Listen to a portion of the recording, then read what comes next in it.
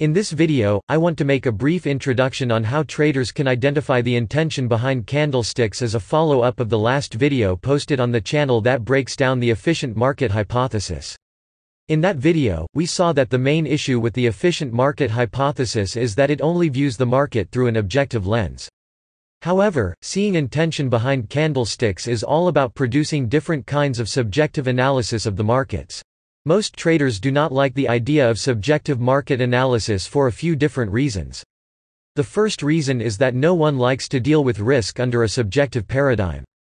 That's why most traders look for that great 100% mechanical setup that will make them money consistently. Let me tell you that trying to use a mechanical setup in a complex entity like the markets is not only a contradiction, but it is also a paradox. However, that's a deeper subject for another video. For traders to reach the same level of complexity in which the markets operate, they must employ various types of subjective analytical tools. The main reason for that is because subjective analysis of financial instruments is what drives the market in the first place. Remember that two traders can look at the same market and arrive at completely different conclusions about the value of such market, even when the nominal price is exactly the same. There are different ways of reading the market subjectively and identifying the intention behind candlesticks. The first and most obvious of these ways is raw price action reading as far as candlesticks go. Here we need to make an important observation. Traders need to learn how to read candlesticks in an organic way without memorizing candlestick pattern names attached to a pre-packaged interpretation. That's like answering the right question with the wrong answers.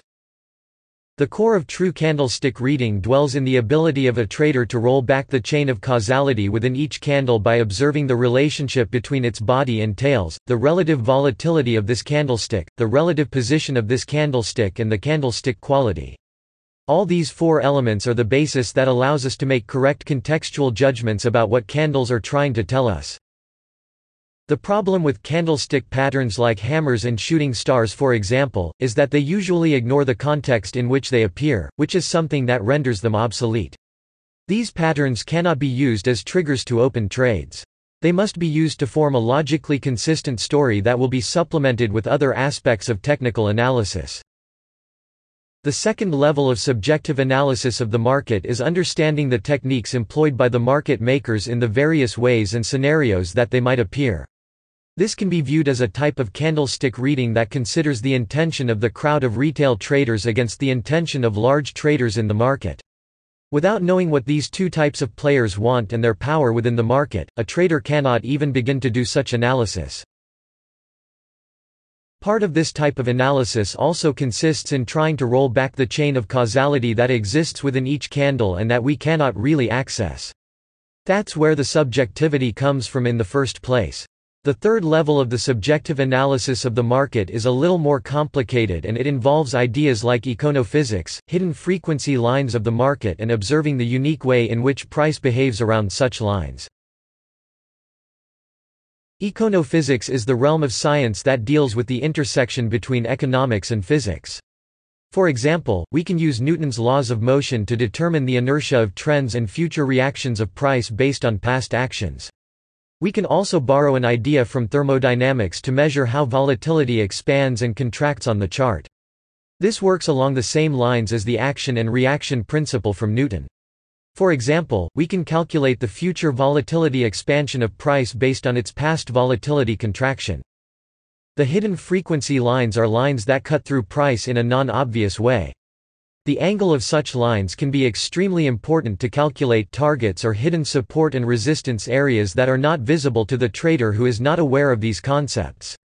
All of these things are wrapped in a layer of subjectivity because eventually, we have to make judgments about the way in which price reacts when it interacts with these principles. Once again, this video is just a brief introduction to these ideas to let you know that they exist. A complete understanding of such things requires books, lectures, and courses. To put all of this in a nutshell, we have three major layers of subjective interpretation of the market. The first is the raw and contextual price action reading, which is itself divided into four different elements. The second level is the understanding of how market makers act in the market, which is tangled up in the first level of subjective analysis. The third and more complex level is the econophysics analysis of price action that is also wrapped around the basic fundamentals of subjective price action reading, which is always based on the attempt to roll back the chain of causality of price. This video probably raises more questions than it answers, but its purpose is only to make an introduction on these fascinating topics. Hopefully you learned something new today. Don't forget to check out our other videos, subscribe, and leave your feedback below to support the channel and help the continuous creation of good material. Thank you for watching.